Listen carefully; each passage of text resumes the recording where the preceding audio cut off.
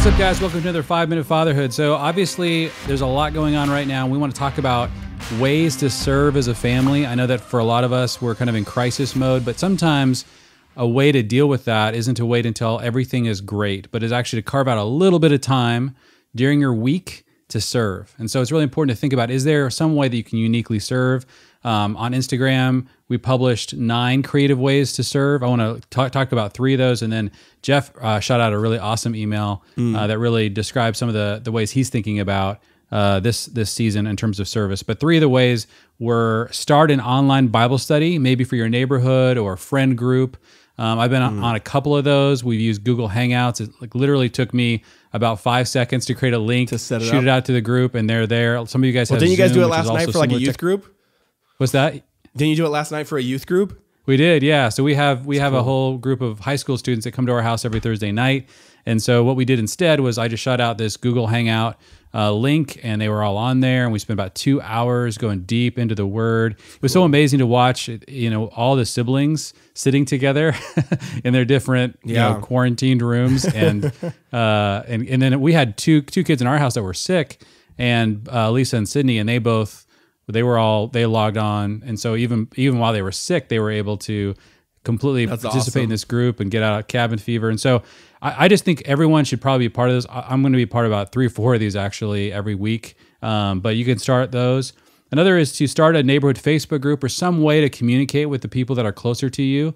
We've started one about five years ago here on our street. And so that kind of lights up at times like this when people can share needs or we can be constantly prompting them with questions. How are you guys doing? Do you guys need anything um, and then a third way that's really been cool in our area is find ways to promote uh, local businesses and help them. So if you hear a lot of us like for example we have a sewing studio and we've come up with four or five creative ways for people to uh, to like buy fabric and things like that during during the quarantine during the shutdown and uh, every other business that I can see in Fort Thomas, they have listed those ways. And so all, all over social media, people are uh, posting, "Hey, this is how you support this business. How you support this small business."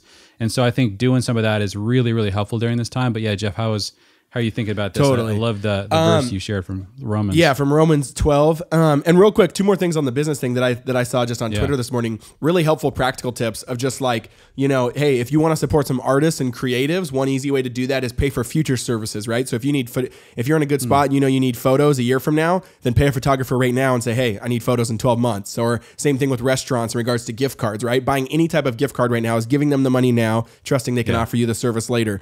Um, so similar as well, I think is another helpful way.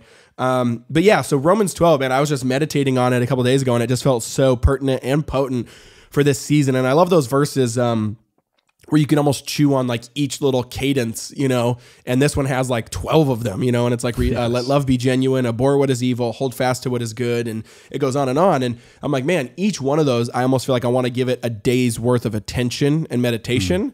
And that's how our family's trying to think through these things is how can we, each one of these, how can we maybe spend a day or two thinking on that? Like, what would it look like for our family to let love be genuine together, but also to the outside world? How can we hold fast to what is good? What are, what are, what are things that the world's losing right now in crisis that the Lord says, no, I still want you to do that even in a squeezed time. Um, outdo one another in showing honor. I mean, what would it look like to you just go to your neighbor or, you know, write them a card or something that just kind of honors them, right? Who they are, um, how they serve, how you appreciate them. Um, be constant in prayer. Same thing. Like, what would it look like to just shoot off five texts every morning, right? Of just like, hey, I'm praying for you. I'm praying for you. I'm praying for you. Um, and here's why. You know, I think it's also helpful to be a little specific of just like, hey, I was thinking about you this morning. I'm praying this verse over you. Just wanted to let you know, you know, this is a truth. And so I think, yeah, letting Scripture kind of saturate this moment. I don't. What I, what I, what I think we forget is like the New Testament was written written in crisis. You know what I mean? Or at least like a more per, uh, a familiar world of us now to them than like our normal world to them. You know what I mean? Just like there's there's there's famine there is diseases in the first century world there is back and forth and shipwrecks and persecution like this the, the new testament was actually like a lot of these things that don't seem pertinent to us is because we aren't in the context of where they were written and now we are at some level you know in a different way.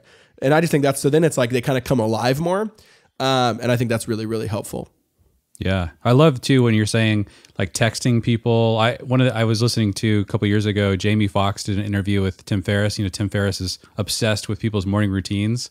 And Yeah. so Jamie Foxx is going through his morning routine, and he said, like, then I get up and I just text three or four people, tell them I'm thinking about them, you know, and it was like That's it was awesome. I It was like a daily ritual? yeah, so I just started like doing this during my prayer time. I, you know, you think awesome. about in the morning. Well, that ends up being thousands over the year. Yeah, yeah. You just like why not? Why not? You can immediately pray with, especially now. Uh, why why would you spend your entire prayer time um, all alone when Yeah. right there on your phone you can be communicating and like, oh, I'm praying for right now. Anything I can ask the Lord for you? Oh, I just you know I thought about this. I'm praying for this. I love like that. even if you spend like five minutes in prayer.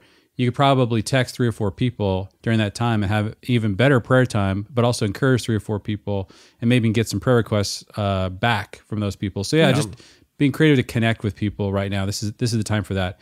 Um, you guys, we we are uh, doing a free five day challenge to help uh, families uh, use this crisis to transform their families into a team.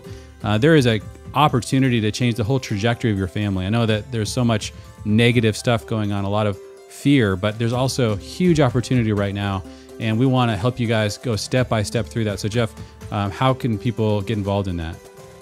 Yeah, so you'll see us posting stuff about challenge and getting in, and it'll be via email. We're going to deliver all those resources to you. But you can go to familyteams.com. You can also go to our Instagram. If you follow me or Jeremy on Instagram, you'll see it there as well.